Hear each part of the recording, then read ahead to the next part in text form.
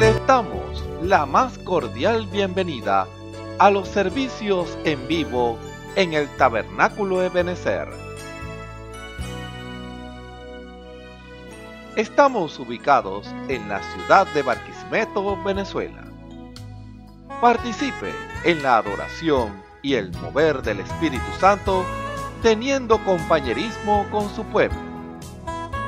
Nuestra oración es que el Señor circuncide cada corazón para escuchar la palabra y los labios que la hablan.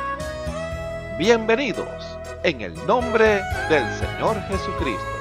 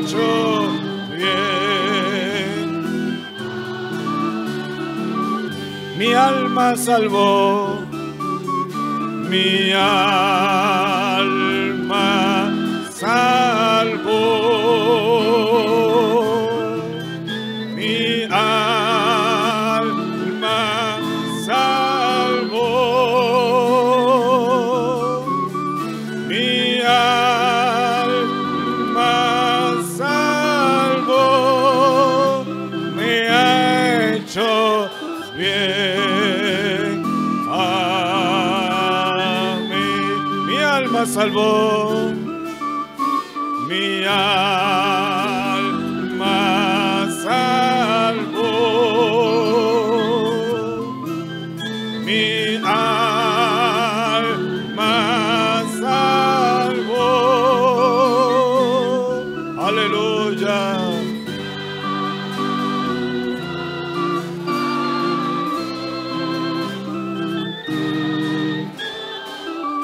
Sí, Señor.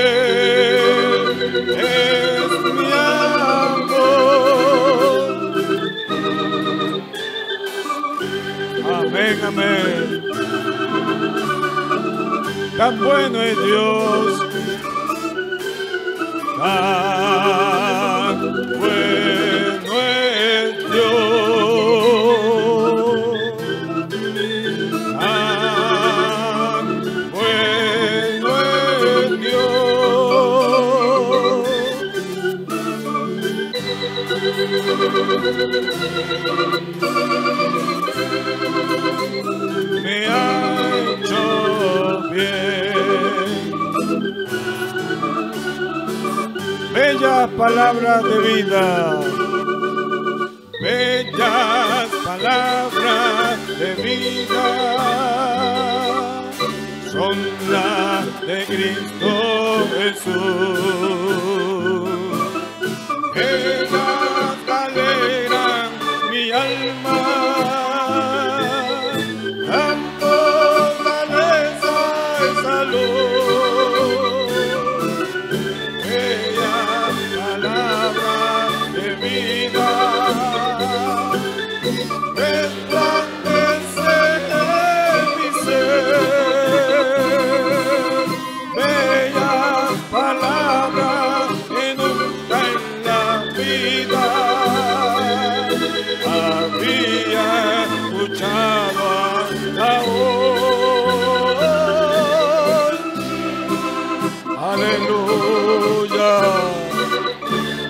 Alégame.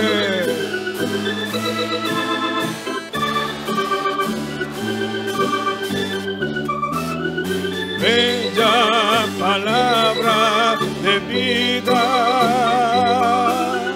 son las de Cristo Jesús.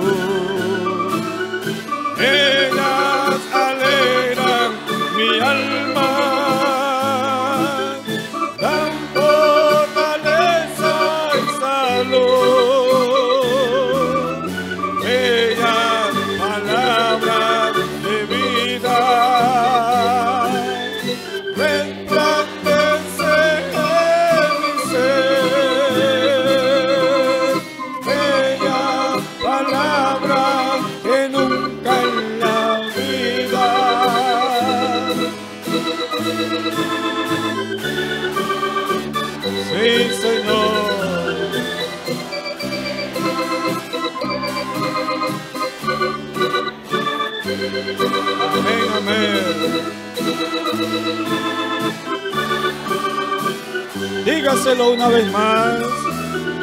Bella palabra de vida son las de Cristo Jesús. Ellas alegran mi alma. Amén, amén, amén.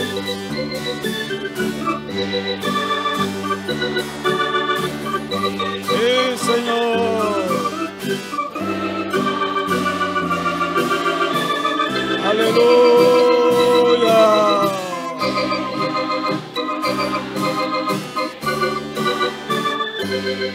Amém, amém.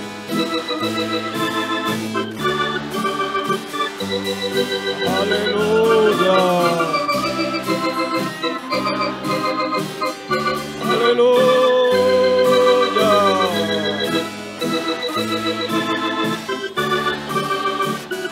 Una vez más, bella palabra de vida.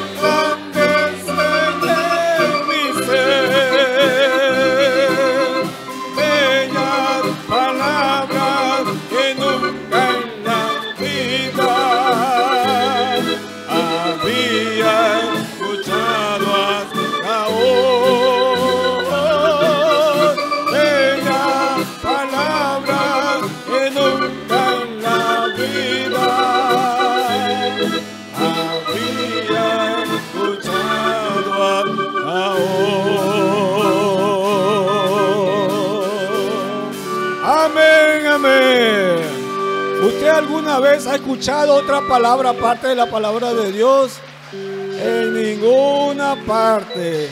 Aleluya. Abrace a su hermano y diga, bellas palabras son las de Cristo Jesús. Amén, amén.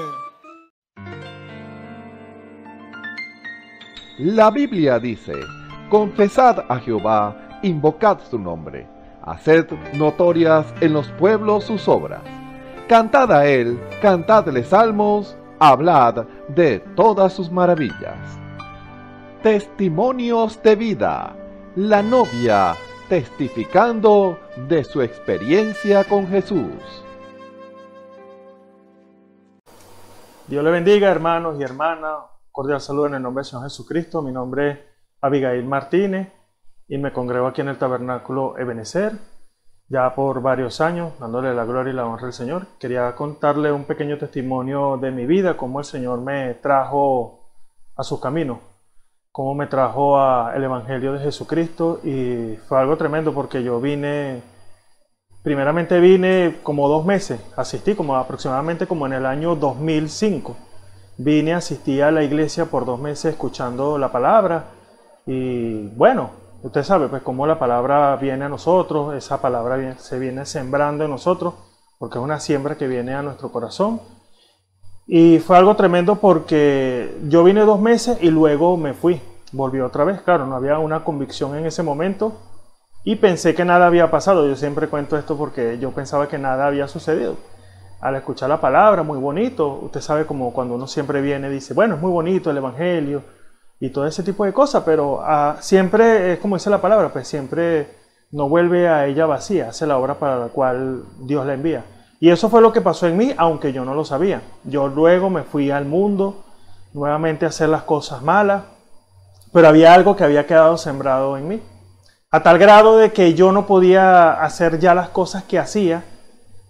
Yo bebía, yo fumaba, yo hacía tantas cosas malas pero ya no era lo mismo, ya sentía una reprensión, yo no sabía qué era lo que estaba pasando, pero sentía una reprensión en mi corazón en hacer las cosas, aunque las hacía, había esa reprensión en mi corazón, de saber que algo malo estaba yo haciendo.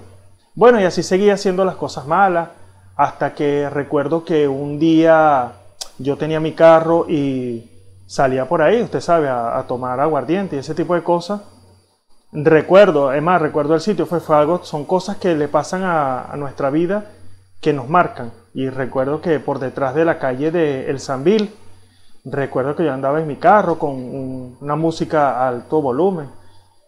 Y fíjese algo, yo en ese momento escuché una voz, y no era la voz del Señor, escuché una voz que me dijo, acelera al máximo.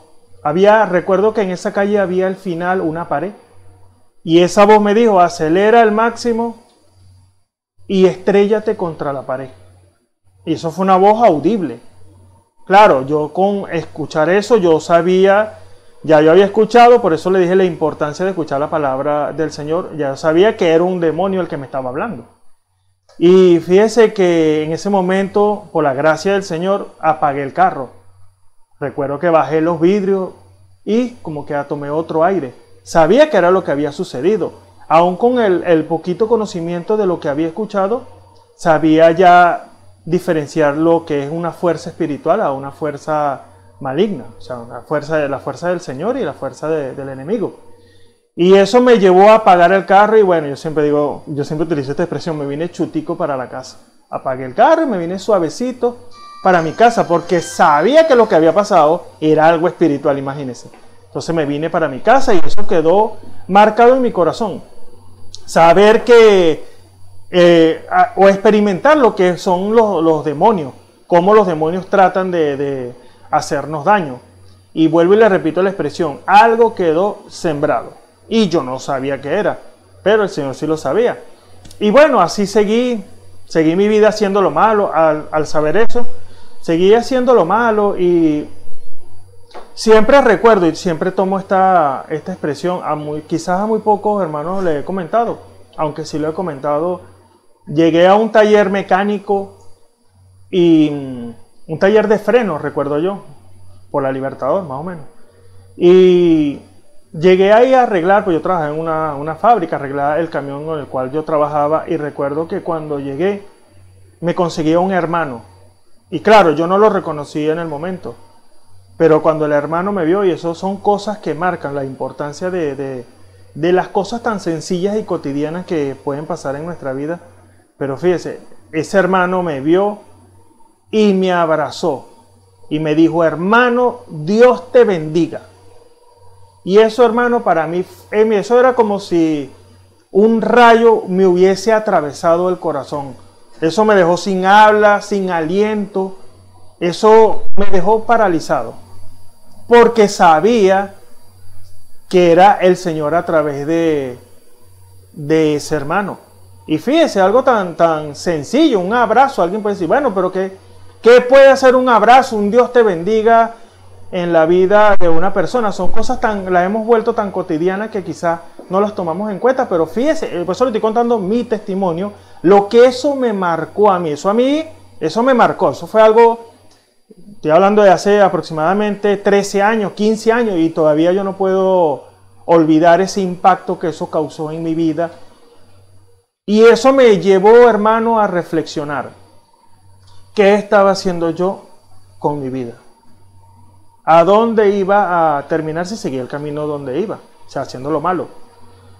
Y bueno, por la gracia del Señor empecé otra vez a asistir a la iglesia.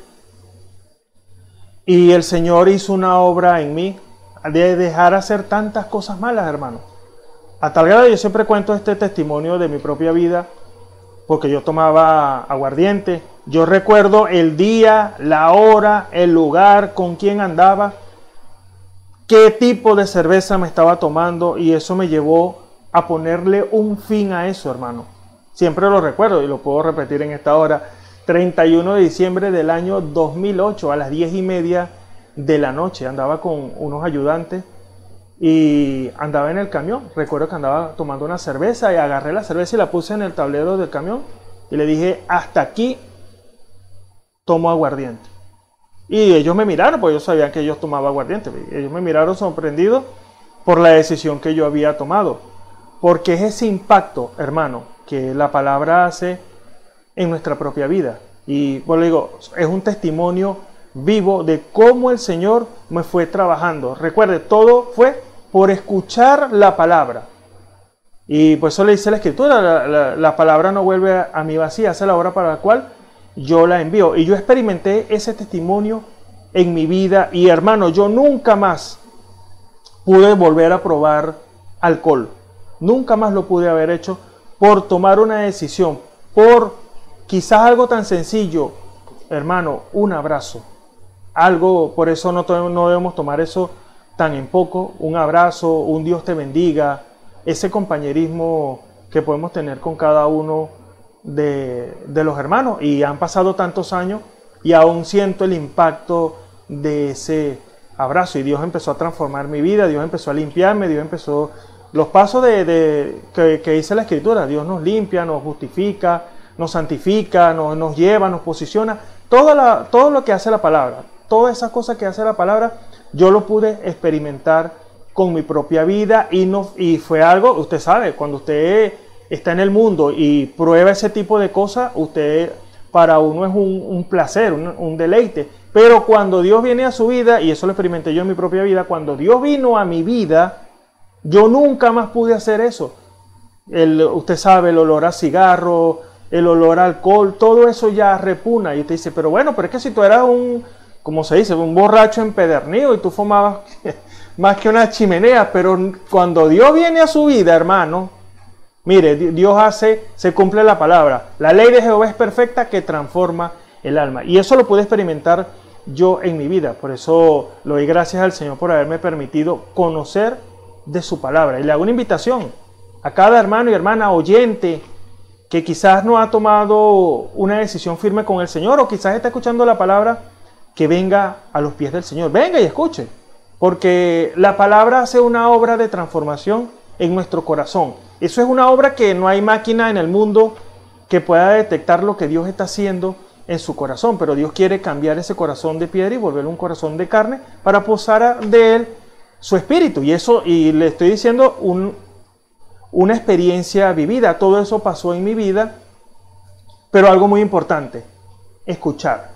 La fe viene por el oír, el oír la palabra del Señor. Y cuando estamos atentos a su voz, viene Dios y transforma nuestra vida. Ya yo nunca pude ser el mismo. Me fui, escuché la palabra por dos meses aproximadamente, me fui y pensé que todo seguía igual. No, la palabra transformó mi vida. Y no pude, hermano, yo nunca más me pude apartar de los pies del Señor. Es como, es como que usted tenga sed y no quiera beber agua. Usted lo puede resistir por un momento, por, quizás por un día, pero va a llegar un momento que va a correr a la nevera a tomar esa agua, porque no puede vivir sin ella. Eso fue mi experiencia de no poder separarme, no de la iglesia, del Señor, porque Dios nos trae es a su palabra.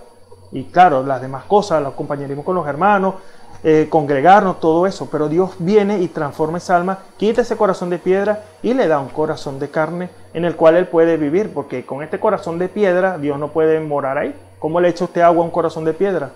No puede. Pero cuando el corazón es de carne, sí absorbe eso como una esponja. Y una invitación para cada uno de ustedes que ponga su mirada en el Señor. Siempre Dios quiere que lo miremos a Él. Pero ¿cómo miramos al Señor? Dios está ahí en cada momento en cada paso, pero Dios está en su casa y necesitamos escuchar la palabra. Si usted quiere hablar conmigo, bueno, usted me llame, yo estoy en mi casa, venga para que hablemos. ¿Quién es el interesado? Usted es el interesado. Venga para que hablemos. Dios también quiere eso, pero Dios nos llama con amor. Ven, ven, ven, ven y hablemos. Ven porque tengo cosas que decirte. Así es Dios con nosotros y eso fue mi experiencia, hermano. Que el Señor Jesucristo le bendiga. Espero que este pequeño testimonio le haya servido para usted, porque a mí me sirvió. Un abrazo, recuerde, un abrazo. No lo tomemos en poco. Un Dios te bendiga. Eso puede causar un efecto muy grande en nuestra vida. Dios le bendiga y que el Señor les guarde. Escuchemos al hermano Dionisio Querales en el mensaje La necesidad del Evangelio. Tengan muy buenas tardes, queridos amigos y hermanos que están en sintonía en esta hora escuchando este servicio evangelístico desde acá el Tabernáculo Ebenecer de Barquisimeto, Venezuela. Para cada uno, cada uno de ustedes, amados hermanos, amigos, que de tarde a tarde están allí en sintonía, eh, oyendo, buscando, dando más, indagando más en la revelación de Jesucristo sabiendo y llegando al conocimiento de su palabra. ¿A través de qué? De las predicaciones, a través de su palabra que sale por esta onda de internet. Allá al lugar donde usted puede estar allí, ubicado en su casa, en su trabajo o en su vehículo, en cualquier parte que usted pueda lugar con un celular, usted puede llegar a, ponerse allí eh, en sintonía y así entonces oír la palabra de Dios, el cual es el Evangelio eterno de Jesucristo, el cual por Él es que somos salvos. Por Él es que llegamos al conocimiento pleno y absoluto de Dios. Porque ¿qué dice la gente? Preguntan, ¿quién es Dios?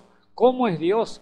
Eh, ¿Qué hace Dios? Estas son preguntas que hay e incógnita para las muchas vidas que están en el mundo. Pero para eso Dios ha preparado, ha dirigido y y ha hecho desde el principio llevar entonces el Evangelio, llevar la palabra a través de predicadores, a través de hombres ungidos por Dios que abren sus labios, o sea, que o se le prestan los labios a Dios y Dios entonces se carga de hablar a través de ellos para expresarse y decirle quién es Él, eh, qué hace Él y cuál es su poder.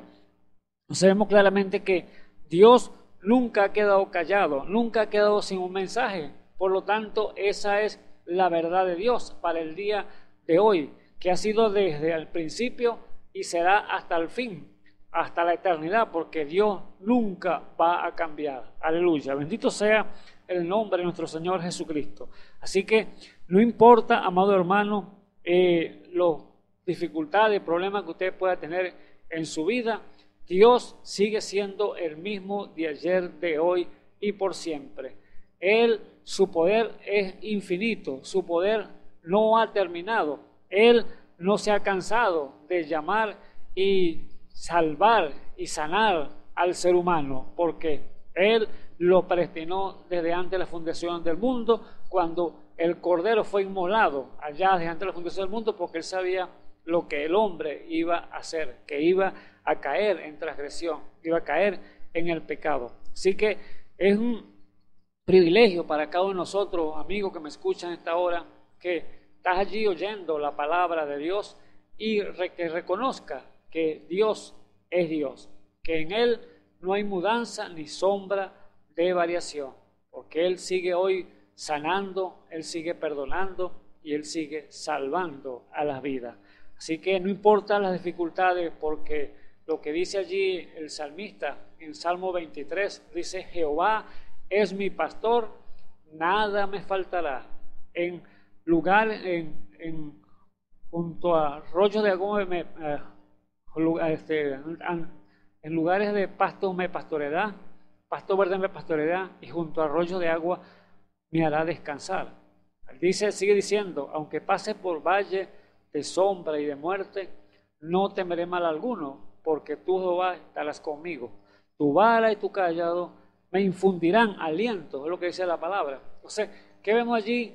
Que Él nos está dando un mensaje de confianza, un mensaje que solamente Él nos puede guardar, Él nos puede proteger, nos puede dirigir en todas las cosas, porque el que nos alimenta, el que nos sostiene, el que nos mantiene de pie eh, aquí en este mundo, el cual estamos viviendo.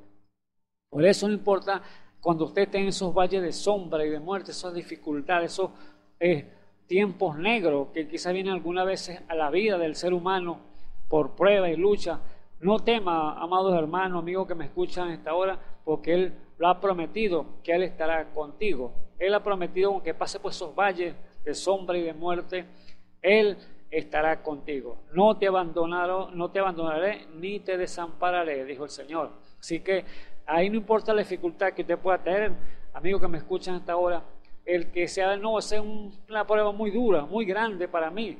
No, mire desde el cielo, mire la tierra, mire de, la tierra al cielo, mire la expansión que hizo Dios, que no tiene límite, no tiene medida. Ahora, una prueba, una lucha, tiene comienzo y tiene término ella tiene medida, pero la expansión de, que hizo Dios, la creación de los cielos y la tierra, no hay medida, no hay forma como medir qué tamaño es, no, por eso así es nuestro Dios.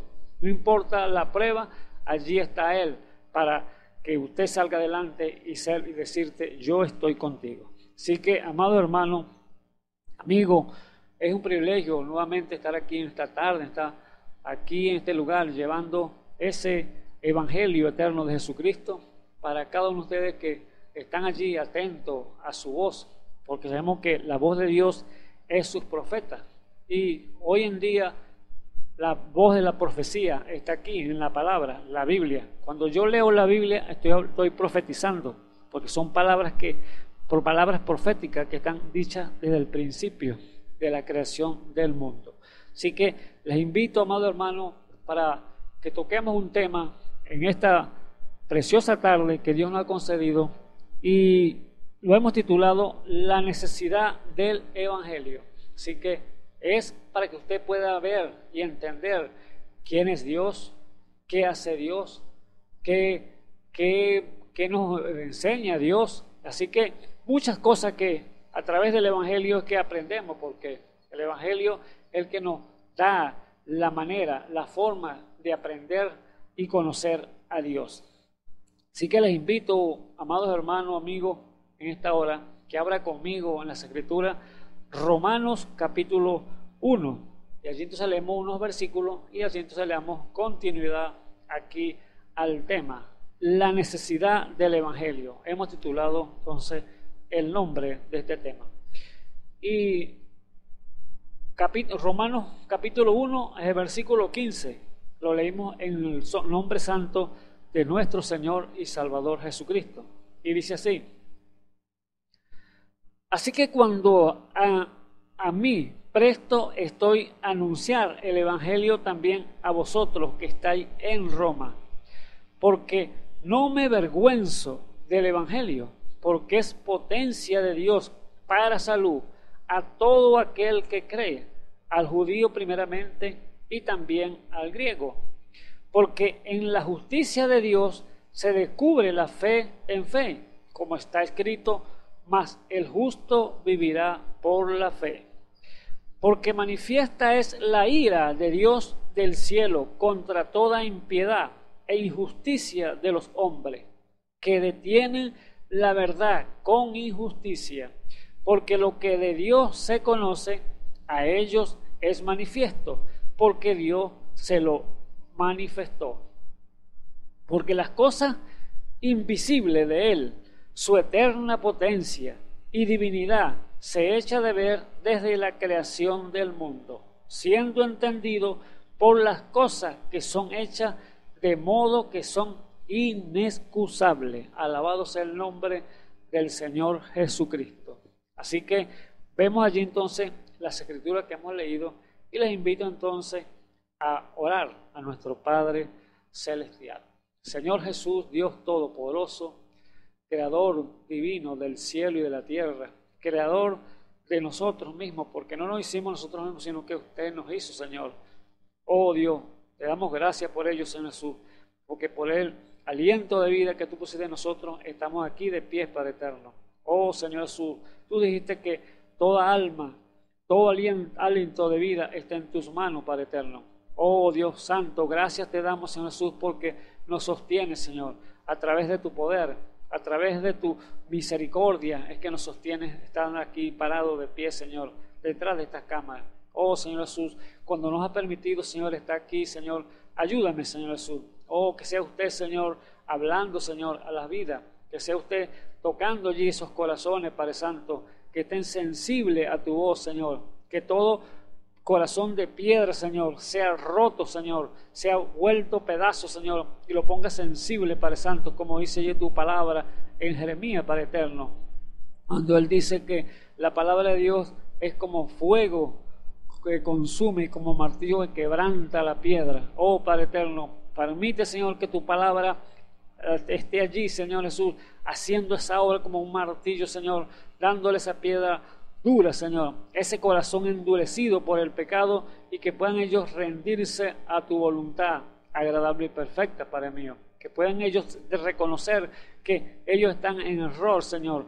Que sean ellos reconociendo su posición, el cual tú quieres que el hombre esté, Señor Jesús. Oh Dios de la gloria, ayúdame a mí, Señor Jesús, y ponme palabras en mis labios para hablarla con confianza, Señor y ayuda a tu pueblo, Señor, que está alrededor del mundo. Que también, Señor, a través de estas ondas de Internet, Señor, ellos también se están edificando. Ellos también están buscando más de ti, Señor. Que esas copas, Señor, rebosen, Señor Jesús, que tu Espíritu Santo, Señor, en cada uno de ellos, Padre Santo, porque tú quieres un pueblo aparejado. Así como las vírgenes, Señor, allí, Señor, que estaban allí preparadas, Señor, cuando el esposo viniese Oh Señor Jesús, ellos habían hecho, Señor, ya el trabajo. Ellos se habían llenado y habían guardado esas vasijas, Señor, de aceite para el santo, para cuando viniera ese clamor, el esposo viene. Y allí vimos que tenían, ya habían cinco prudentes y cinco fatuas para el eterno. Pero vemos que las fatuas, Señor, no tenían aceite. Tenían las lámparas, pero no había aceite en ellas.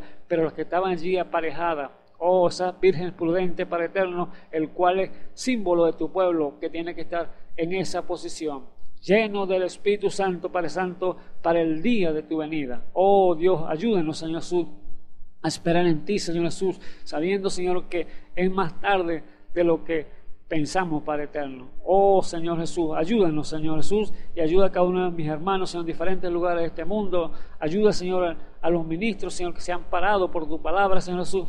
Seas tú, Señor, dándole más abundantemente palabras, Señor, en sus labios, Señor, para que edifiquen cada día más a tu pueblo, Señor. Ayuda a los ministerios, Señor Jesús, sabiendo que usted puso ministerios, Señor Jesús, para perfeccionar a tu iglesia, perfeccionar a los santos, Padre Santo, para que lleguemos a la estatura de un varón perfecto, a la plenitud de Cristo. Oh, bendito sea tu santo y precioso nombre, Señor Jesús. Todo te lo ponemos en tus manos en esta hora, en el glorioso nombre de nuestro Señor y Salvador Jesucristo. Amén y amén.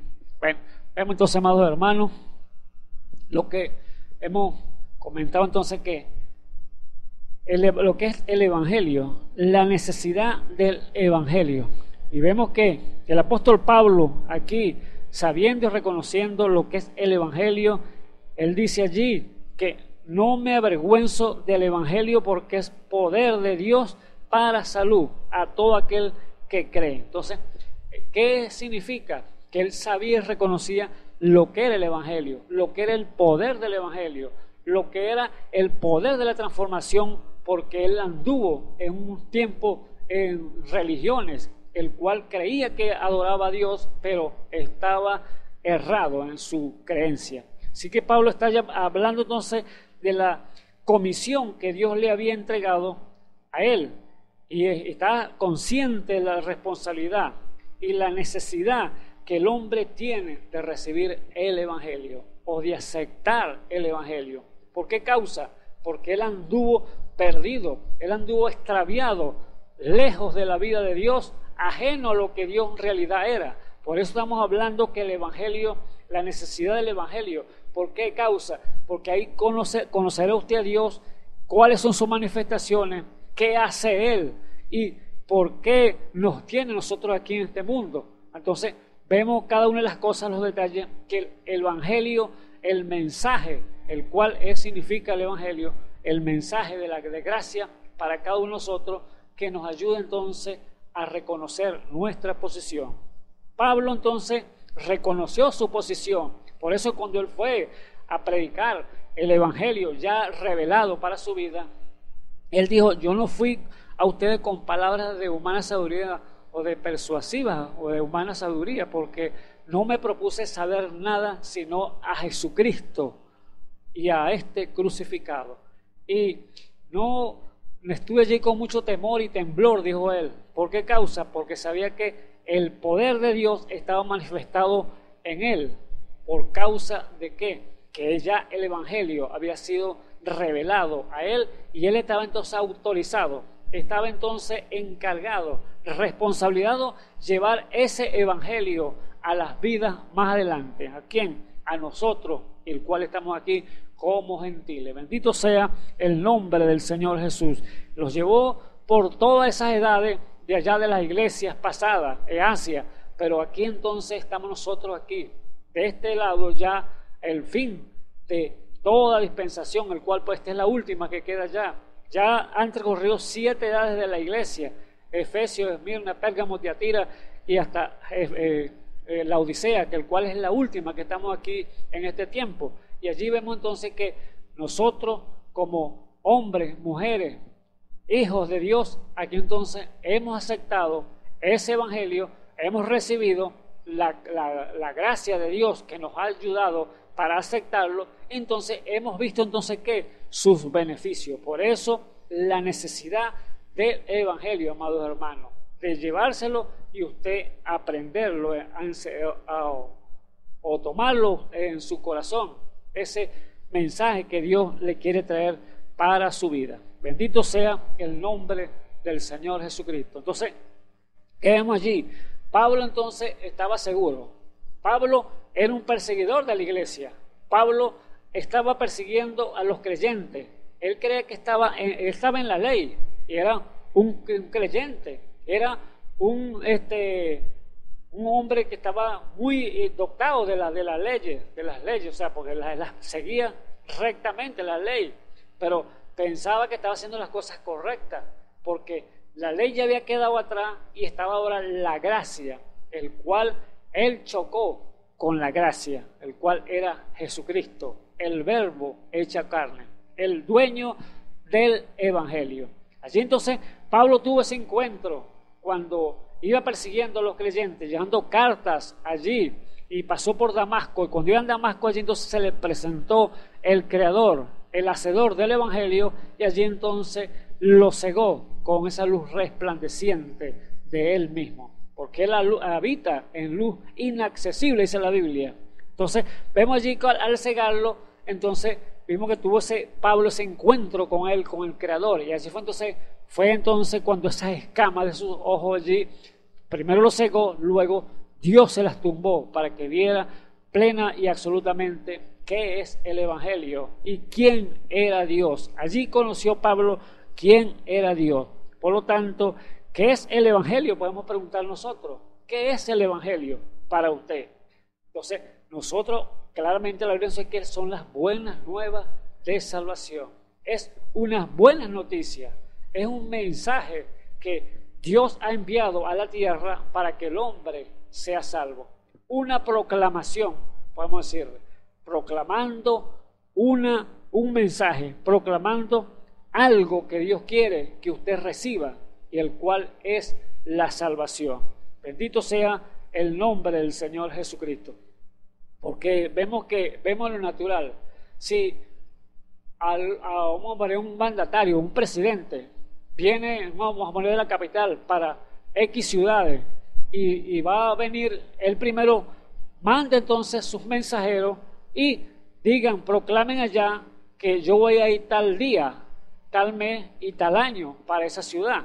Y allí entonces los encargados de esa ciudad, entonces proclaman el mensaje a toda la población, a todas las vidas que están allí, que el presidente viene. El presidente va a visitarlo el día, el mes y el año que va a estar con ellos allí. Entonces, ¿qué hay? Preparativos. ¿Qué hay entonces? Disposición para recibir y, que, el, que recibir cuando venga el presidente o el gobernante para esa ciudad, el cual va a venir. Vemos allí entonces que la gente se prepara, que si tienen peticiones, eh, eh, cualquier cosa, necesidad que tenga entre ellos, ellos van a hacer papelitos para cuando venga aprovechar y entregárselo a ese gobernante, a ese presidente. Ese eh, es la que va a ser el pueblo. ¿Por qué? Porque él va a venir, entonces le va, le va a suplir esa necesidad si llega a obtener entonces ese mensaje, o sea, ese, esa petición que le llegue a su mano. Por lo tanto, el gobernante entonces ha dicho entonces yo voy a estar tal día. Y allí vienen los preparativos entonces para recibir a aquel gobernante, a aquel presidente. Pero si no hay proclamación, si lo hay, no hay entrega de, las necesidades. Por lo tanto, él le va a suplir cualquier necesidad que tú necesites en su medio. Y ahora, eh, aquí no es un, un, gobernante común y corriente, no es un presidente, un rey de una, de una ciudad, de un país. Aquí estamos hablando del rey de reyes y señor de señores, que él ha de venir y él ha enviado entonces una proclamación a la tierra que él viene. Pero lo que no dice él, como los demás dicen, yo vengo tal día, tal mes y tal año, este rey de reyes, señor de señores, el cual es el dueño de todas las cosas, él no ha dicho ni el día ni la hora no ha dicho fecha. Lo que es cierto que va a decir va a ser sorpresa. Bendito sea el nombre del Señor Jesucristo. Por eso la disposición que debe estar entonces en el creyente, así como la gente se interesa a, recibir a aquel gobernante, aquel rey, cuando va a venir, va a venir para eh, lo natural, para hacerle peticiones, este, déjeme decirle, rey de reyes, señor de señores, cualquier petición que usted tenga, en su corazón, sea sanidad, Él es Jehová nuestro sanador. Sea una petición de provisión, Él es nuestro proveedor. Sea una petición de salvación, Él es nuestro salvador. Sé que Él tiene todos los beneficios, toda la petición que usted puede tener anotada allí en su corazón, Él se la puede dar si tan solo usted puede creer. Y va entonces a obtener o venir para el, para el encuentro, recibirlo a Él. ¿Y cómo lo va a recibir primero? A través del Evangelio eterno de Jesucristo. Alabado sea el nombre del Señor Jesucristo. Entonces vemos que una proclamación, el mensaje del Evangelio, es un mensaje que viene a través de un mensajero. Así como vino Juan el Bautista, que era el prepulsor de la venida, de la primera venida del Señor el Mesías, el Rey del Reyes y Señor de Señores, que vino como Rey de los judíos. Eso es el nombre que le pusieron al Señor allí. Era el Mesías, nuestro Redentor. Ahora, ¿qué proclama trajo Juan?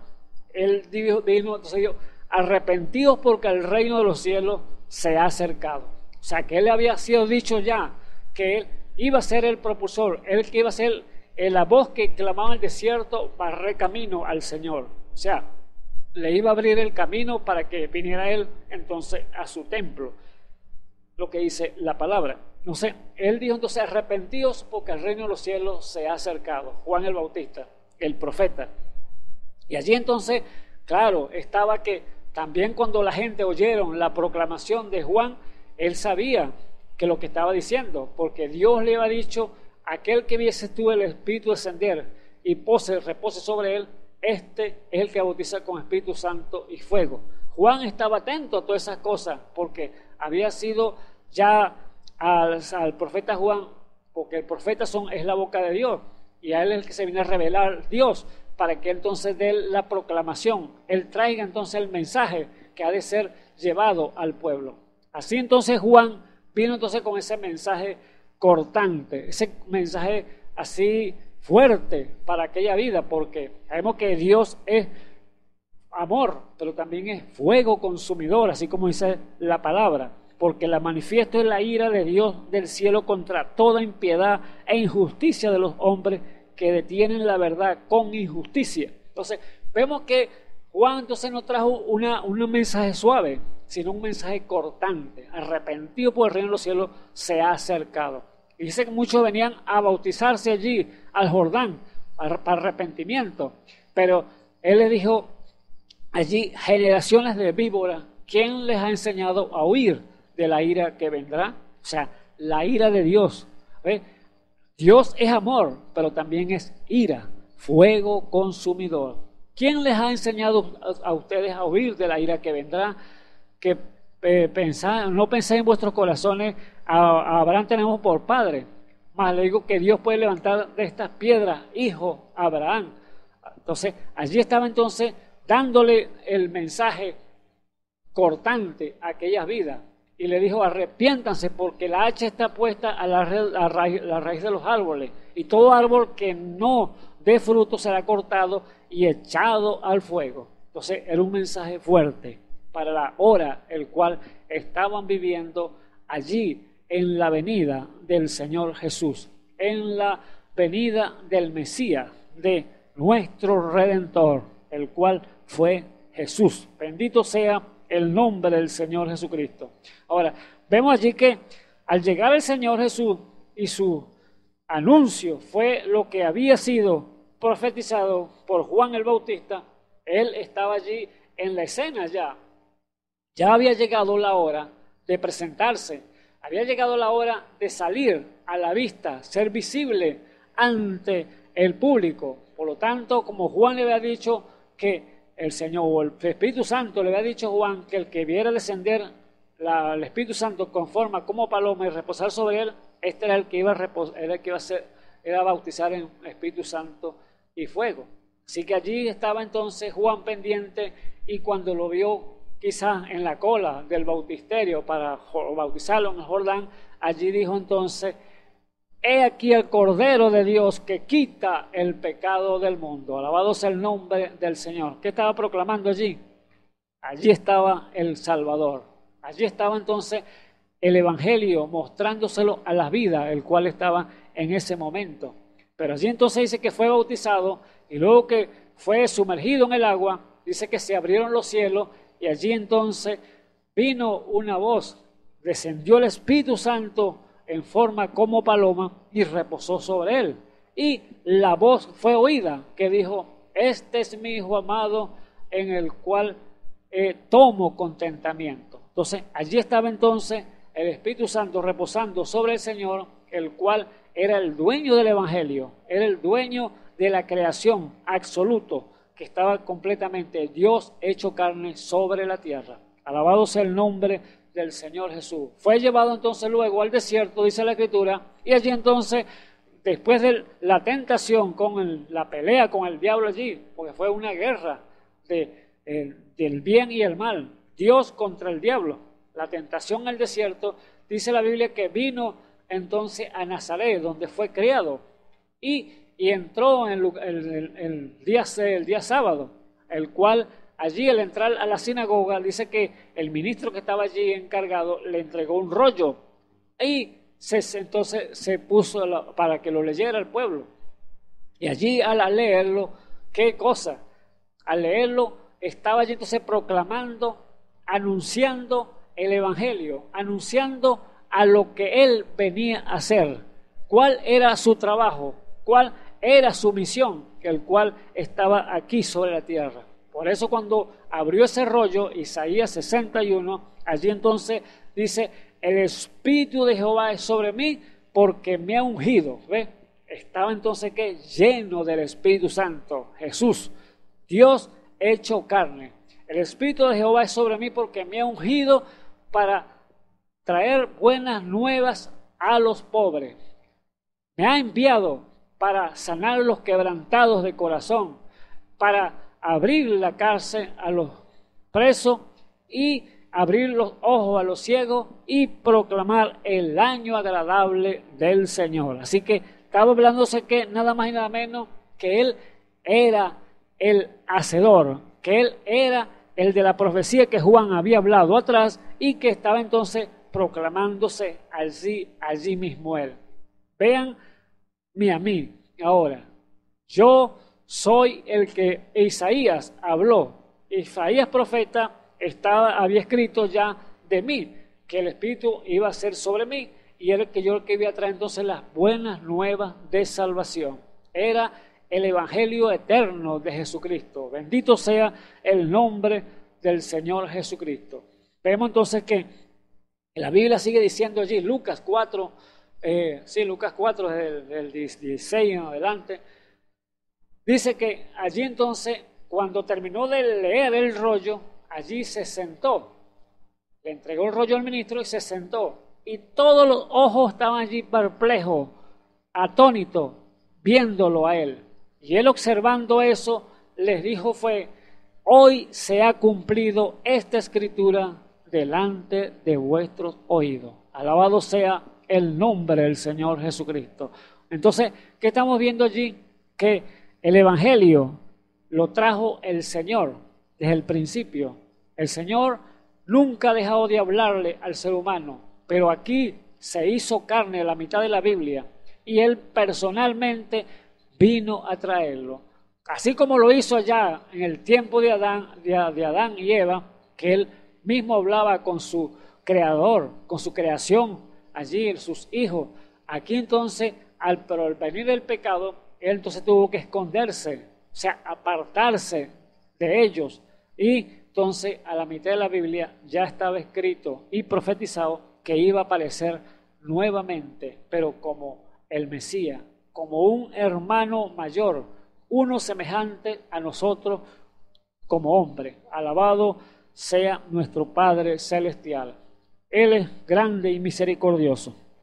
Así que el Evangelio, amados hermanos, es Dios mismo, es revelándose, Dios revelándose al hombre que tiene, que, que tiene la necesidad de oír el Evangelio. Es la única manera para poder ser salvo, para que sea entonces Dios, vean, vean que Dios es amor, vean las bondades de Dios, vean los beneficios de Dios, pero también vean que Dios también es fuego consumidor, Dios también tiene ira, ¿Por qué? La ira de Dios es santa, porque vamos a decirlo porque la ira de Dios es justicia. La ira de Dios no obra justicia, la, ira del hombre no obra justicia, pero la ira de Dios es santa. Todo es correcto lo que Dios puede hacer porque no es que Dios sea malo, sino que el hombre se aparta de él, de él y entonces vienen entonces las consecuencias. Así que aquí podemos entonces ver que Dios es amor, pero también es fuego consumidor, que la ira de Dios se revela a todo hombre que es impío, hombre perverso o hombre malo que no quiere entonces nada con el Evangelio. Por eso dice el 18, porque manifiestes la ira de Dios del cielo contra toda impiedad e injusticia de los hombres que detienen la verdad con injusticia. ¿Cree usted que Juan no importa que a él le quitaron la cabeza, pero usted que él retuvo la injusticia. No, él habló verdad. Él habló sin, sin pelos en su, su, su lengua, vamos a decirlo así. No tuvo tapujo en su boca para expresar la verdad de Dios y decirle en la cara misma al mismo gobernante allí, a Herodes, no te es lícito tener la mujer de tu hermano. ¿Ve? Que estaba destapando allí el pecado que estaba aquí, aquí en ese, que el gobernante. Él no se lo encubrió, no porque me daba broma, porque es el presidente. El presidente me puede quitar la cabeza, me manda a matar de una vez. No, él no tuvo nada que ver con eso. Él estaba por servir y decirle la verdad. Aquel gobernante no importa qué le hicieran a él, en realidad le quitaron la cabeza, pero él estaba entonces obrando la justicia de Dios, estaba diciendo la verdad, no estaba reteniendo la verdad, como muchos hoy pueden retener la verdad y se meten entonces que en gran dificultad, gran problemas con Dios, porque es lo que dice allí, porque manifiestes la ira de Dios del cielo contra toda impiedad e injusticia de los hombres, ¿ve? que retienen, que, que detienen la verdad con injusticia. Entonces, reteniendo la verdad, usted queriéndole, Dios le entrega una verdad a usted a través del Evangelio y usted entonces no la proclama, no la dice, aquel está haciendo el mal. Y usted, ah, tranquilo, no, no, está, bien así. No, este, estás, estás, estás, bien, estás haciendo la iglesia, tú eres cristiano, ¿verdad? Pero estás fumando, estás este, bebiendo por allá, eh, haciendo cositas incorrectas.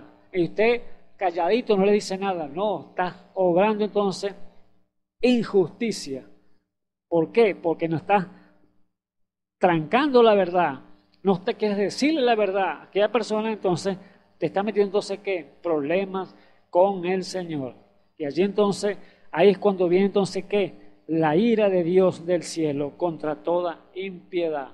¿Por qué? Por retener la verdad que tenía que haberla dicho entonces la sangre de aquella persona, porque usted no se lo dijo, no se lo advirtió, a través del Evangelio entonces, viene a caer entonces sobre usted por causa que usted renegó de decirle la verdad y la retuvo por no decir esto es malo, esto te va a hacer daño a ti, esto te va a costar la vida.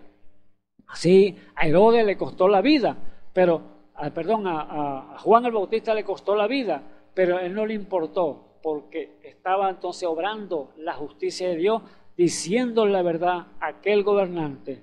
No te es ilícito tener la mujer de tu hermano. ¿Por qué? Estaba entonces en adulterio con la esposa de su hermano. Aleluya, bendito sea el nombre del Señor Jesucristo. Por eso Pablo dice entonces, no me avergüenzo del Evangelio porque es poder de Dios para salvación a todo aquel que cree. Ahora, todo aquel que cree, ahí está el punto.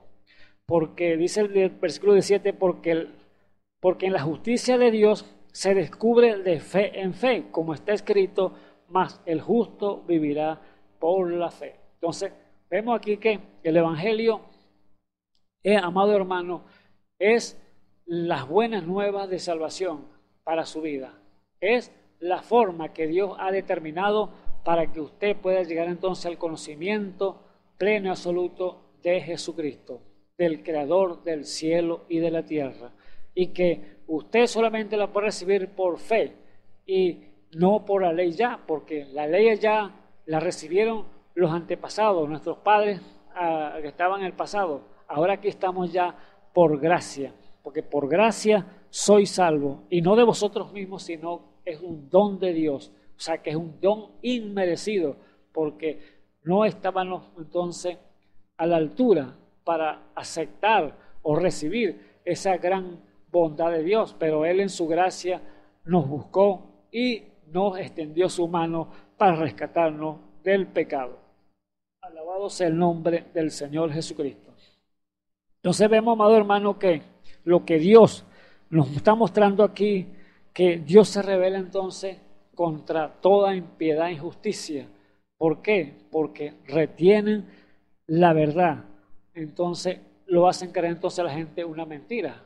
Lo que se está predicando hoy en el mundo, pura mentira. Y no hay un evangelio chapado a la antigua como estaba en el principio. Por eso Dios dice, vuelvan al principio, vuelvan a la senda antigua, porque es decirle a lo negro negro y a lo blanco blanco, así como estaba el mensaje del profeta Juan el Bautista. No importa en la posición que tenía aquel hombre en el gobierno, él no le importó eso, sino le estaba diciendo la verdad. Porque manifiesta el aire de Dios del cielo contra toda impiedad e injusticia de los hombres que retienen la verdad con justicia, con injusticia. Dice el versículo 19, porque lo que de Dios se conoce, a ello es manifiesto, porque Dios se lo manifestó. No Dios se lo manifiesta. Dios se lo reveló a aquel hombre, a Herodes, a través del profeta Juan, que le dijo, eso está malo, eso está ilegal, pero el hombre no aceptó. ¿Qué lo llevó entonces a la muerte? Porque no hay otra posición. Él no aceptó la corrección, sino que eh, aceptó que entonces que mandaran a matar al profeta porque le había dicho que estaba mal, pues, que estaba, no estaba caminando correctamente ante los ojos de Dios. Y, aquella mujer lo indujo a la, la Herodía, indujo, eh, indujo a, aquel gobernante Herodes para que su hija le, le, dijera que pirara la cabeza de Juan. Y allí fue entonces eh, Juan decapitado. ¿Por qué? Porque se paró hablando la verdad, la justicia de verdad. No retuvo aquella verdad que Dios quería que se la dijera a aquel gobernante. Se la dijo a través del Evangelio, del mensaje que él había traído aquí sobre la tierra. Así que la Biblia nos muestra que desde el principio de la creación del mundo, Dios entonces se revela entonces al hombre para mostrarle entonces la verdad y mostrarle también la mentira. Es el amor de Dios, amado hermano, para con el hombre, mostrando por el Evangelio. Y allí se muestra entonces las dos caras, claramente, lo que es la injusticia y lo que es la, verdad, lo que es, la, lo que es la injusticia y la justicia de Dios, lo que es el amor de Dios y lo que es la ira de Dios. ¿Por qué causa? Vemos allá en Génesis capítulo 4, cuando aquellas dos vidas, los primeros dos hijos nacidos de mujer, allá en el huerto, o no en el huerto, en el, oriente, habían echado fuera ya Adán y Eva, están fuera del huerto de Edén. Y tuvo aquellos dos hijos de nacido de mujer, Caín y Abel. Llegó el tiempo de estos jóvenes llegar a la presencia de Dios y, y hacerle eh, o llevarles una ofrenda. Y allí vemos que Caín trajo lo mejor de la tierra, eh, los mejores frutos, porque él era agricultor y trajo los mejores frutos para darle un servicio al Señor, a darle una ofrenda al Señor. Y allí lo puso delante del Señor su ofrenda. Pero también vino su hermano Abel y trajo un cordero. Allí lo mató y lo sacrificó para ofrendarlo al Señor, porque Abel era pastor de ovejas. Pero vemos allí que el Señor viendo las dos ofrendas, eh, miró con agrado la ofrenda de Abel, el corderito, porque Abel tenía revelación de Dios. Abel, quizás sus padres le han dicho, mira, eh, el sacrificio sin sangre no hay remisión de pecado, porque sabían que por causa de ello habían pecado y Dios había matado unos corderitos. Allí entonces vemos que eh, Abel trajo su corderito, lo degolló allí eh, derramó su sangre y lo dio en sacrificio al Señor y en ofrenda grata para él. Pero cuando vio el Señor las dos ofrendas, se agradó más de la de Abel y la de Caín no, no, la, no, le agradó, no se le agradó. Pero esto vino entonces allí el desagrado para este hombre, Caín, su hermano. Cuando vio que Dios le gustó más la ofrenda de Abel y no, y la de él la dejó en poco, la tuvo en poco, aunque estaba más bonita, pero la tuvo en poco. Y allí entonces su cara se demudó, su rostro cambió, se enrojeció. Y allí el Señor, cuando lo ve allí, le dice es, Caín, ¿por qué se te ha demudado tu rostro? ¿Por qué te has enojado? ¿Por qué no haces como tu hermano y te bendeciré? ¿Ve? Allí estaba el amor de Dios, eh, la corrección de Dios, diciéndole las cosas, eh, hablándole el Evangelio, diciéndole lo que era bueno y lo que era bueno, malo, lo correcto y lo incorrecto. Pero usted cree que eh, Caín lo hizo. Sí, sí, corrió, voy a recoger esto y voy a hacer uno como hizo mi hermano, puede hacer algo que te agrada a ti. No, no lo hizo, sino que allí se enfureció, allí delante de Dios, le faltó hasta los respetos al Señor. Si entonces el Señor, viendo la actitud, allí entonces lo que dijo fue, no, el pecado está a la puerta, Caín. Este, y él se enseñará de ti. ¿Qué le quiso decir? Bueno, la ira va a venir sobre, dice, el señora tuya. Así que allí está hasta la puerta. Y se enseñó, se enseñoró de él, sí, porque dice la Biblia que saliendo los dos al campo, Caín y Abel, allí tomó a Caín y lo mató. Mire, fue el primer homicidio que se cometió allá en el principio. Un hermano matar a otro hermano. ¿Por qué causa? Porque vino entonces ira del hombre, vino la rabia, vino la envidia. Allí, ¿a través de qué? De la injusticia del ser humano. Porque no piensan las cosas que son correctas, sino que vienen los que ellos creen convenientes que debe ser así, debe ser así, pero Dios, Él da las órdenes, Él es el que manda, es el que dice, epa, esto me agrada de esta manera y esto no me agrada. Pero Dios se lo dijo a Caín y no lo aceptó. Ahora la ira se, se enseñoró de él y allí mató a su hermano. Vemos que entonces, en esta parte, amado hermano, amigo que me escuchas en esta hora, que la ira cuando viene al hombre no hace justicia. No, es, no hace justicia, sino que hace injusticia, porque la ira de Dios es justicia, pero la ira del hombre es injusticia, porque hace lo malo, se comete homicidio, se cometen diferentes delitos que a Dios no le agrada. Por eso vemos, amado hermano, que cuando viene la, la parte, la enseñanza eh, que Dios quiere para nuestras vidas, guiarnos en Él por sus caminos correctos y nos dice, no hagas esto, eh, haz esto porque es lo que me agrada y usted hace lo contrario, entonces viene la ira de Dios entonces. Pero Dios es amor, Dios no es la ira de Dios no, no, no comete nada, no. Eh, Dios es justo, Dios Él sabe lo que está haciendo.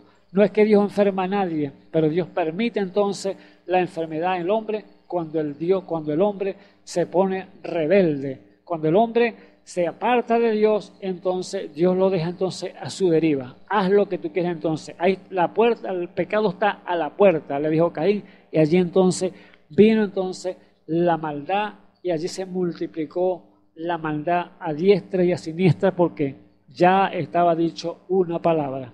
Alabado sea el nombre del Señor Jesucristo. Entonces dice, porque manifiesto es la ira de Dios del cielo contra toda impiedad e injusticia de los hombres que detienen la verdad con injusticia. Dios se lo, porque a lo que Dios se conoce, a ellos es manifiesto, porque Dios se lo manifestó. Dios se lo dijo a Caín y no le puso cuidado, sino que se reveló más todavía. Así que Dios él le avisa, le advierte al hombre cuál es la verdad y cuál es la mentira, cuál es el camino que lleva a la vida eterna y cuál es el camino que lleva a la perdición. Son dos cosas diferentes. Entonces vemos entonces que desde Génesis, Apocalipsis, Dios ha traído un mensaje continuo, llevando al hombre a través del Evangelio. Dios lo ha traído desde el principio, desde el, principio de la creación al hombre a través del Evangelio, enseñándole la verdad y enseñándole también lo que es mentira, que lo puede llevar a la muerte. Alabado sea el nombre del Señor Jesucristo. Entonces, vemos que la parte que cuando Dios llamó a Adán eh, y a Eva, que le dijo a Adán, Adán, ¿dónde estás tú?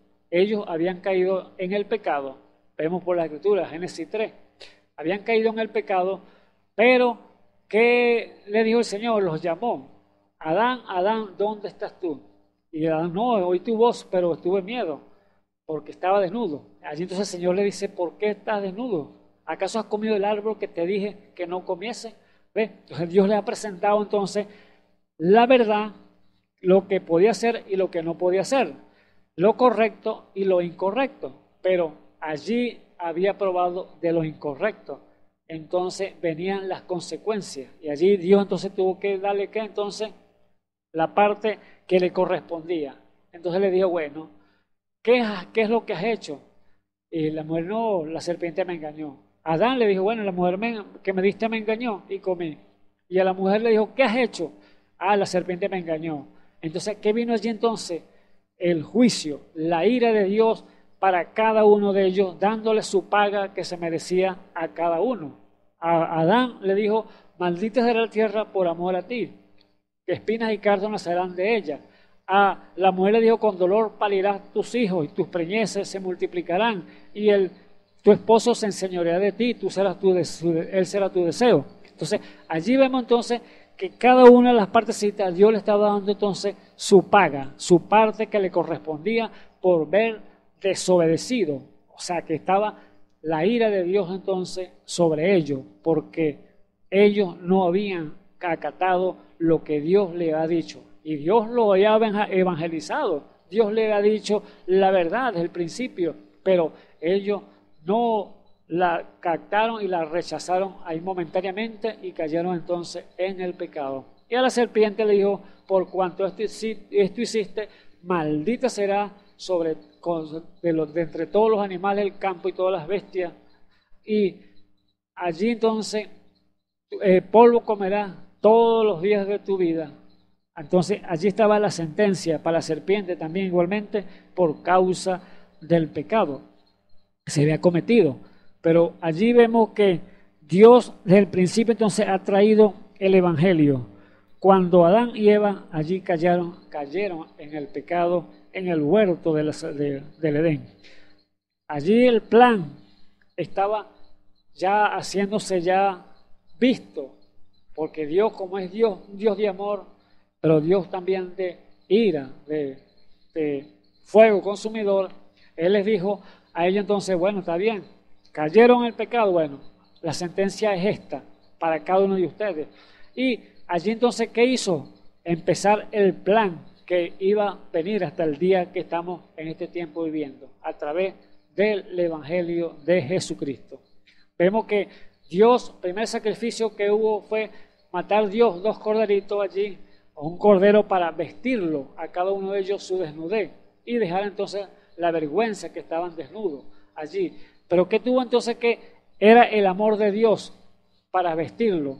Y luego la ira, vemos allí, los sacó fuera del huerto del Edén, los echó fuera al oriente, porque no podía estar entonces ya el pecado junto con Dios. Había que una separación, porque ya la sentencia había sido proclamada por el mismo Dios. Cuando Él los evangelizó, Él le dijo que todo árbol del huerto pueden comer fruto del fruto de Él, pero menos el que está en medio del huerto de ese día, del día que coma de Él, ese día morirá. Entonces, estaba allí una proclamación, evangelizándolo a cada uno de ellos desde el principio, porque vemos que el Evangelio no ha cesado.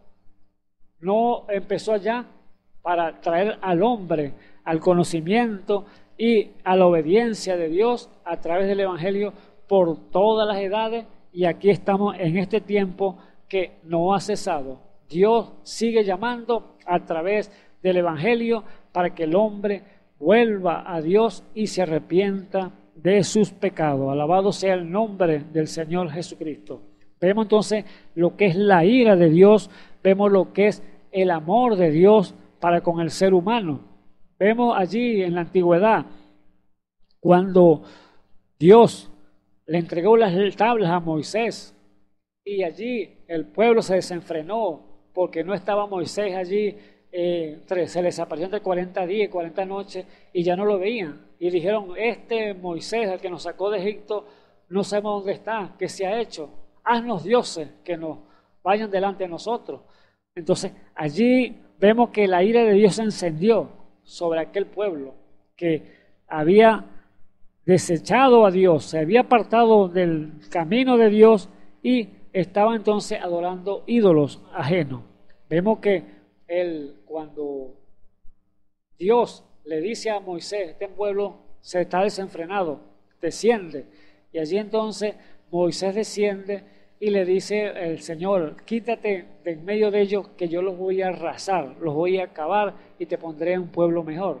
Allí Moisés clamó a, Dios y le dijo entonces, no Señor, no lo hagas, porque ¿qué dirán el, el, el pueblo allá, el mundo? ¿Qué dirán Egipto? Que lo sacaste de allá, de aquella tierra, para matarlos en el desierto. No, mátame a mí, le dijo el, el profeta Moisés. Y el Señor entonces le obedeció a Moisés. La ira fue aplacada allí de Dios.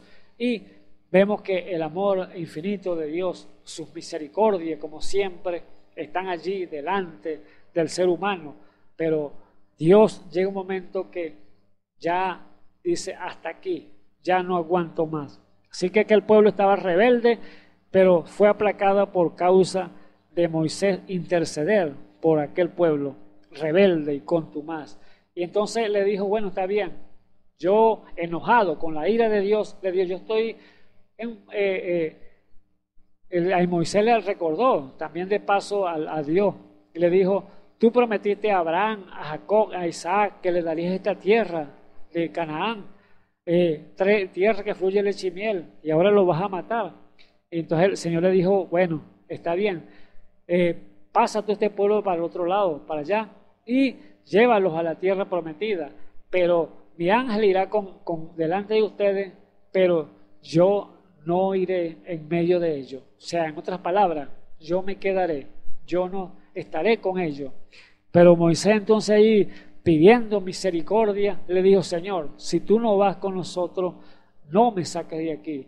Entonces, allí estaba entonces Moisés intercediendo y llevando una posición a Dios, Señor, ten misericordia, que esa ira baje y no acabe este pueblo. Allí entonces el Señor, cediendo la petición de Moisés, le dijo, está bien, yo haré lo que tú quieres que yo haga, que, tú me estás pidiendo. Y entonces Moisés le dijo, Señor, si he hallado gracia en tus ojos, este, ve delante de nosotros y muéstrame tu gloria. Entonces allí el Señor lo que le dio fue, bueno, un hombre no puede ver mi rostro y vivir, pero haz algo, le dice, métete en la roca, en la hendidura de la peña, y allí entonces yo proclamaré, pasaré delante de ti, y tú verás entonces mis espaldas. Allí entonces, ¿qué hizo? El Señor para mostrarle que eh, aquel hombre de Dios, aquel profeta que había traído entonces este pueblo a través de un mensaje eh, que lo había sacado, que había proclamado que matar un cordero inmolarlo, comérselo y poner la sangre en el lintel de la puerta, eh, los que oyeron ese mensaje salieron, o sea, una proclamación del Evangelio allí, de lo que es la salvación para cada uno de ellos, pero ahora estaban revelados allí en el, en el desierto.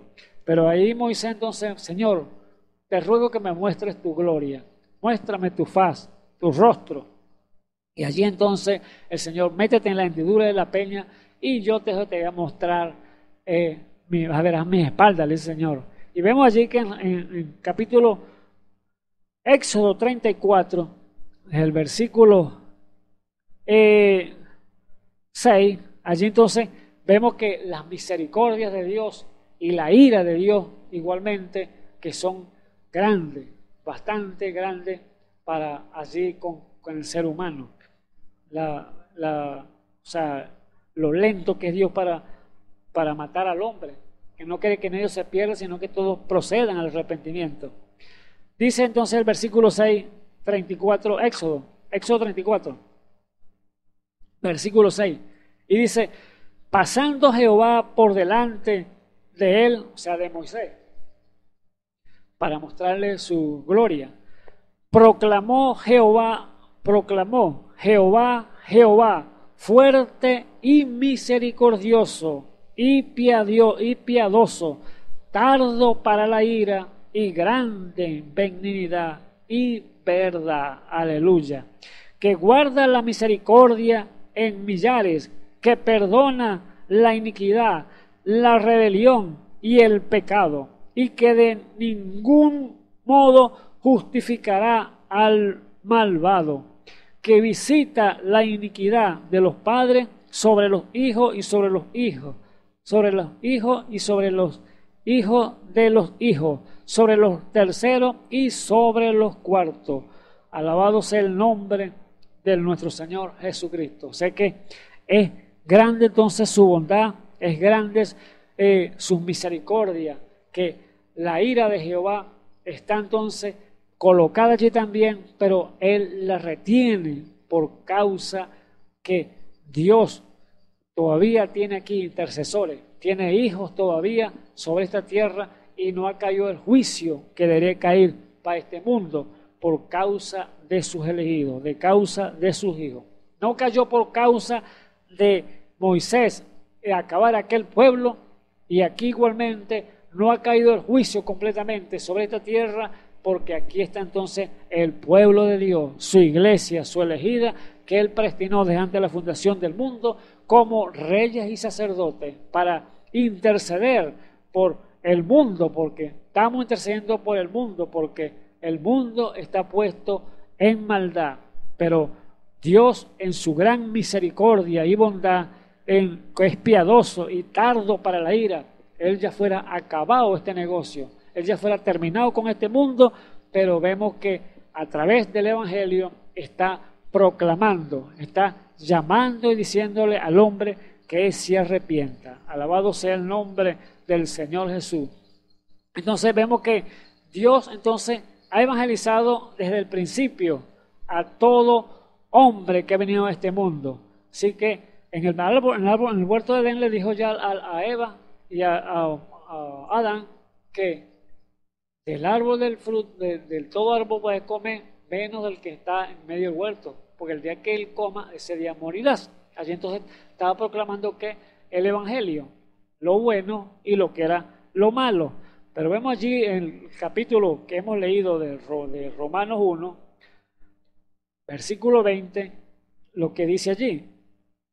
Porque, la cosa, porque las cosas visibles de Él, su eterna potencia y divinidad, se echa de ver desde la creación del mundo, siendo entendida por las cosas que son hechas, de modo que son inexcusables. Alabado sea el nombre del Señor Jesús. ¿Qué significa eso? Que toda persona, amado hermano, amigo que me escuchas en esta hora, toda persona sabe y entiende por la sabiduría que Dios le ha dado, que ha determinado en este cuerpo natural que nos ha hecho tan perfecto, que algo sobrenatural tiene que haber en este mundo, porque nadie puede poner, como vamos a decir, como le dijo el Señor a Job, ¿dónde estaba yo, cuando, dónde estabas tú cuando yo fundaba la tierra? O sea, que cómo es que la, la, la tierra esté flotando allí en el espacio, allí, cómo esté flotando y que no se va para los lados y choca con los otros planetas que están allí colocados también, o que se, se viene hacia abajo. ¿Por qué la mantiene? O sea, ¿cuáles son sus bases? ¿Cuáles son sus medidas? Como le dijo el Señor a Job. Es algo sobrenatural. La ciencia, los científicos pueden dar una determinación en un estudio que lo hagan, pero no, no hay cosa que justifique lo que Dios ha puesto tan perfecto. ¿Cómo es que la bola de fuego que está allí, que es el sol, la lumbrera mayor, no llega y consume la Tierra o los otros planetas que el choque se vaya a un lado. No, hay una perfección directamente que es puesta por la mano de Dios en su creación. Por eso dice la Biblia que esto, esta verdad está y su divina potencia se echa de ver desde la creación del mundo, siendo entendido por las cosas que no son hechas, que son hechas, de modo que son inexcusables. La gente no puede entonces decir que no hay algo, una mano poderosa, una mano sobrenatural que puso las estrellas, la luna, los planetas, hizo la tierra y toda la creación que está, vemos hoy en día aquí colocada. Así que algo sobrenatural que está allí, un Dios invisible que Dios se le está mostrando a través del Evangelio eterno de Jesucristo para que usted pueda entender más las cosas, eh, cosas que Dios tiene reservadas para nosotros como hijos e hijas de Dios y mostrársela al mundo.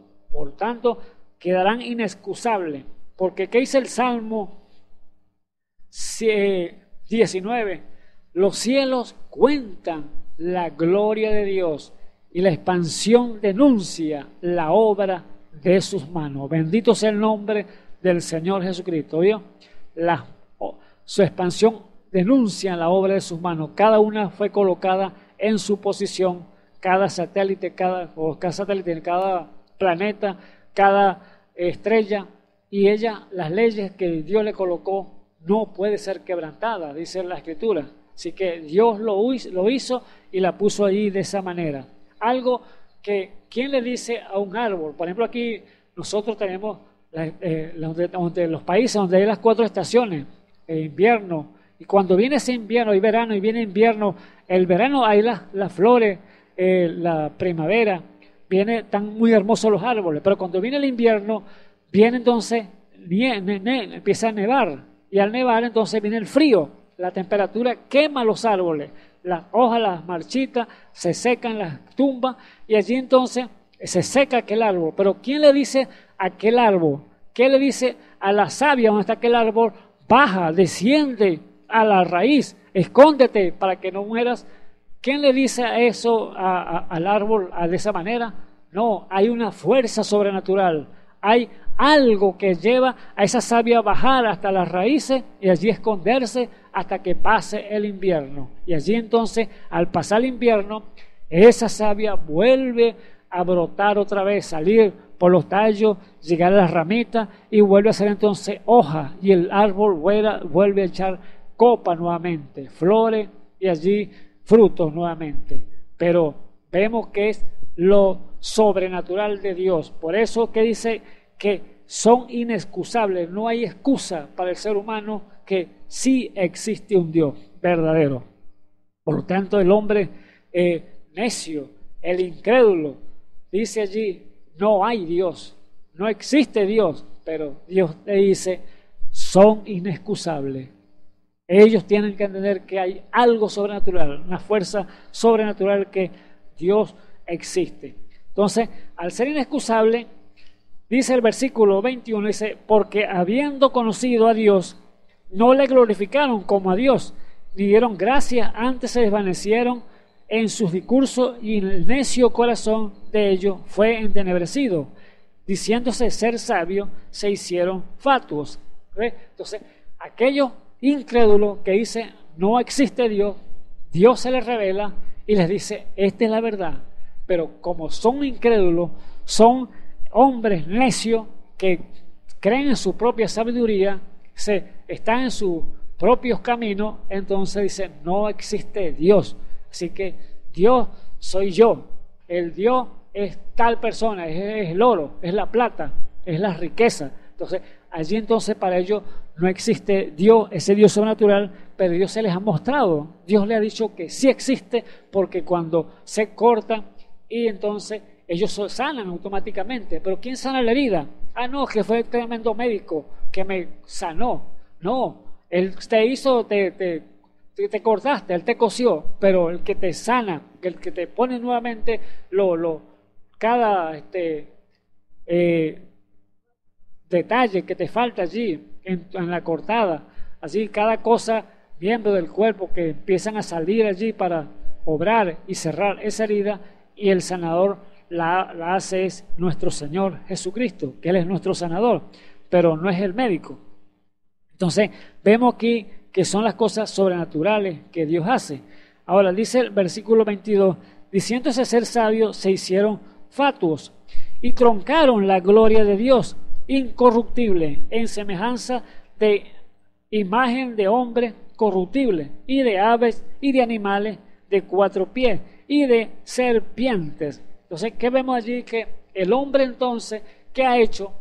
El hombre incrédulo, el hombre fatuo, el hombre que dice no existe Dios, entonces, en vez de eh, adorar, de darle gloria, honra al Creador, entonces le dan honra entonces es a la creación. ¿Cómo es eso? Ah, porque se hacen entonces ídolos, se hacen muñecos para hacerlos como dioses. Lo hacen entonces, adora entonces, lo agarra un árbol y de ahí el árbol hacen un muñeco y lo ponen como un hombre y empiezan a adorarlo. O hacen de oro o de metal el muñeco como un hombre y allí empiezan a adorarlo como un dios. O sea, adora, en vez de adorar al creador, adora entonces a la creación, porque el, madero lo creó fue Dios, el metal lo creó fue Dios. Entonces, vienen entonces erradamente adorar entonces lo que no es. Y adorar entonces animales, aves, y adoran entonces los planetas, como decimos Saturno, Neptuno, Júpiter. Empiezan a adorar entonces cualquier cosa, aún el dios Sol, eh, la, la, diosa Luna y todas estas cosas, como usted vea como eh, el hombre puede pervertir entonces la creación de Dios, pero Dios les ha dicho que son inexcusables porque Dios se lo ha mostrado y se lo ha declarado que hay un Dios todopoderoso que Él creó todas las cosas. Alabado sea nuestro Padre Celestial. Así que son inexcusables. Alabado sea el nombre del Señor. Dice lo que dice el versículo 24. Por lo cual también Dios los entregó en inmundicia, en concupiscencia de sus corazones, de suerte que contaminaron sus cuerpos entre sí mismos. ¿Por qué causa? Porque Dios le ha mostrado la verdad y la rechazan. Dan la espalda a Dios a través del Evangelio y Dios entonces los entrega entonces a sus deseos concupiscentes.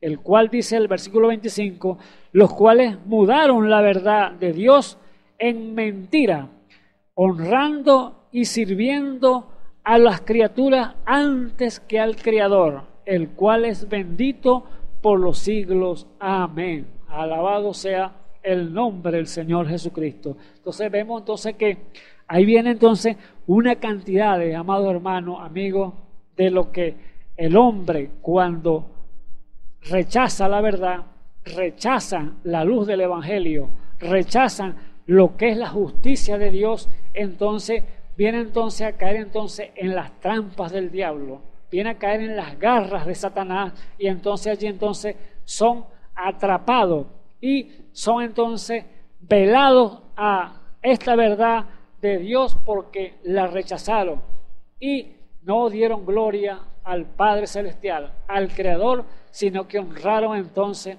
a las criaturas, honraron a lo creado y no al Creador. Alabado sea nuestro Señor Jesucristo. Bendito sea su gloria. Vemos allí Salmo 14, porque lo que dice el, el incrédulo, no hay Dios, pero Dios se ha mostrado desde el principio de la creación, porque lo de lo que Dios se conoce, Dios se lo ha mostrado a cada uno de ellos. Y allí entonces vemos que cuando el hombre falla y no ve la voluntad de Dios, no ve el Evangelio que Dios le está mostrando, la verdad, entonces caen allí en lo el fondo, en las manos de Satanás. Dice el necio entonces en su corazón, no hay Dios, corrompiéronse, hiciéronse obras abominables, no hay quien haga bien. Jehová miró desde los cielos sobre los hijos de los hombres por ver si había algún entendido que buscara a Dios. ¿Ve? Entonces, ¿qué busca Dios? La gente están buscando cosas entonces, adorando cosas abominables. Lo que Dios creó y no al Creador. Pero Dios ha mostrado aquí, amado hermano, amigo que me escuchas en esta hora, te está mostrando lo que es la necesidad del Evangelio para la vida del ser humano, mostrándote a través de ella dónde Dios te quiere llevar, qué posición te quiere dar, qué te quiere dar a entender el Señor. Allí tú puedas comprender quién es Dios, cómo, qué hace Dios, qué, qué es lo que quiere Dios para tu vida. Y Dios te lo va a mostrar a través de qué? Del Evangelio. Por eso, amado hermano, es la importancia de ver esa grandeza, esa gloria, sus misericordias que son infinitas. ¿Qué dijo el Señor en el salmista, el santo en Salmo 103, misericordioso y clemente es Dios, lento para la ira y grande en misericordia. Es más, dijo, mira, cuán lejos está el oriente del occidente, así hizo alejar de nosotros nuestras rebeliones. Dios está esperando a través que tú reconozcas tu posición y tomes el Evangelio y allí entonces Dios te bendecirá. ¿Cómo? Mostrándote sus facultades, mostrándote que Él te quiere entonces dar a conocer su posición como hijo e hija de Dios. Que así que el Señor te bendiga en esta hora y que sea usted entonces llevando esta palabra allí a su corazón y que sea atesorada grandemente allí para que pueda entonces ver lo cual bueno y cuán amoroso es Dios para con el ser humano. Llevar este evangelio a su vida, a su hogar a través de estas ondas de internet, por estos humildes servidores que le hablan desde este lugar. Así que Dios les bendiga grandemente. Y oremos. Señor Jesús, Dios Todopoderoso, te damos gracias, Padre Eterno, por tu amor y tus misericordias, Señor Jesús. Viendo, Señor Jesús, que tus facultades, Padre Eterno, están allí, Señor Jesús, para mostrárselas, Señor, al ser humano, Padre Eterno. Y no quieres que nadie se pierda, sino que todos procedan al arrepentimiento. Oh Padre Eterno, que tu evangelio eterno, Señor Jesús, que llegue, Señor, ayuda a sus vidas, sus corazones y que puedan ellos resplandecer, que puedan hacer lo que tú dijiste, levántate y resplandece porque tu lumbre ha llegado. Oh Padre eterno, levántate entre los muertos y te alumbrará Cristo. Así que usted quiere darle vida al ser humano, pero vemos que hay mucho rechazo a través de que tu palabra sale, Padre eterno. Unos reciben, otros rechazan, pero tu palabra no volverá a ti vacía, sino que hará la obra para la cual tú la has enviado. Tú conoces, Señor, cada corazón, sabrá quién es lo que va a aceptar y quién la va a rechazar, Señor. Nosotros no somos jueces para dictaminar tal cosa, pero tú eres el juez para eterno. Pablo dijo, Pablo sembró, Apolo regó y el crecimiento lo da a usted, Padre eterno. Así que creemos, Señor, en esta hora que la palabra que ha salido, Señor Jesús, hará esa obra al cual usted la ha enviado. En el nombre, Señor Jesucristo, la ponemos en tus manos, Padre eterno. Oh, Padre eterno, ayuda, Señor, a cada vida, Señor Jesús, que está en necesidad, clamando de cualquier necesidad, Padre eterno. Usted es un Dios, Señor Jesús, de provisión. Usted es un Dios sanador, Padre eterno. Usted tiene todo para darle al ser humano si tan solo claman, creyendo que usted lo puede hacer. Oh, Padre eterno, lo ponemos cada necesidad en tus manos en esta hora, en el nombre del Señor Jesucristo, Señor, y que reciban conforme a tu voluntad agradable y perfecta. En el nombre del Señor Jesucristo. Amén y amén. Bueno, vamos entonces despedirnos de este, de este día y será decirle que para mañana sea la invitación que otro de mis hermanos estará aquí llevando su palabra. Que Dios me les bendiga.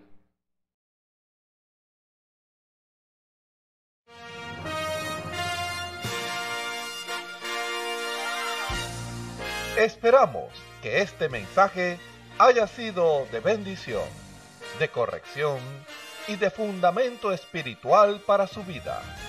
Estamos en el tiempo en que las águilas predestinadas de la hora, con la visión profética dada por el Espíritu, alzarán sus alas y su vista al cielo, esperando el cumplimiento de la promesa que el Señor ha dado en el tiempo final. La verdadera iglesia será una super iglesia, una super raza a medida que se acerca a Él. Ellos serán tan igual a Jesús que serán la misma manifestación de la palabra del Dios viviente. Es el tiempo de la unidad de Dios con su iglesia. Que el Señor les bendiga.